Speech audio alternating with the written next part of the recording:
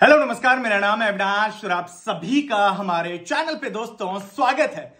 आपको Pakistan cricket board में job चाहिए जॉब चाहिए तो मैं आपको दिलवाता हूँ। अगर मैं नहीं दिल पा पाया तो आपको जका अशरफ दिलवाएँगे। जका अशरफ नहीं दिलवा पाए तो मोहम्मद हफीज दिलवाएँगे। लेकिन जॉब पाने के लिए सबसे पहले आपको जो है, अपने देश के इमोशंस को बेचना पड़ेगा।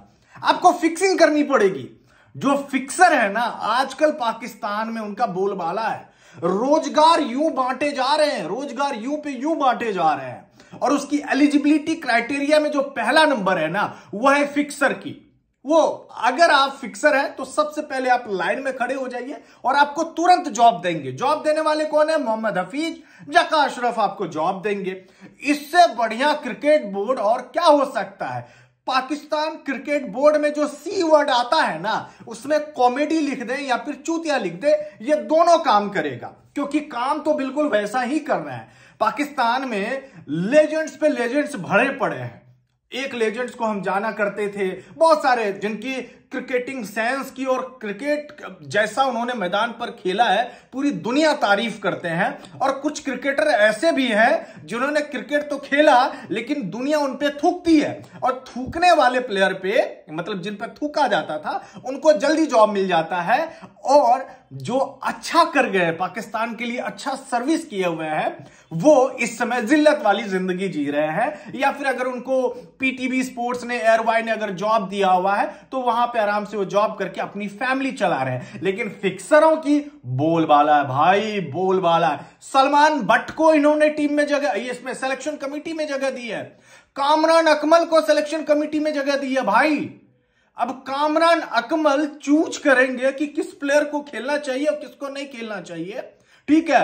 अब सलमान भट्ट जो यूट्यूब चैनल पे बैठे हुए रहते थे, अब वो बताएँगे कि किसको टीम में लेना चाहिए और किसको नहीं। तो मेरे ख्याल से जो अपकमिंग जनरेशन है पाकिस्तान के, मैं उनको यह बताना चाहता हूँ कि आपको जब भी मौका मिले पाकिस्तान के लिए खेलने के लिए, जल्दी से आप फिक्सिंग कर लो। फिक्सिंग करने से होता यह है कि आपको फ्यूचर इन्वेस्टमेंट है फिक्सिंग अगर आपने फिक्सिंग कर ली तो फ्यूचर में जाके आप पाकिस्तान क्रिकेट बोर्ड के डायरेक्टर भी बन सकते हैं सिलेक्शन कमेटी में भी आ सकते हैं, और हो सकता है कि आपको चेयरमैनशिप भी दे दी जाए।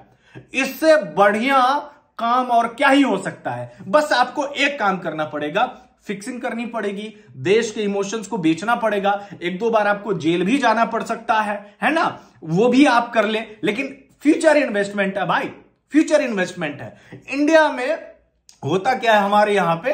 हमारे यहाँ पे क्रिकेटर जो है ना पोस्ट रिटायरमेंट रिटायरमेंट के बाद ना या तो कोई आ, किसी चैनल से जुड़ जाता है एक्सपर्ट के तौर पे कोई कोच बन जाता है कोई घरेलू क्रिकेट का कोच बन जाता है।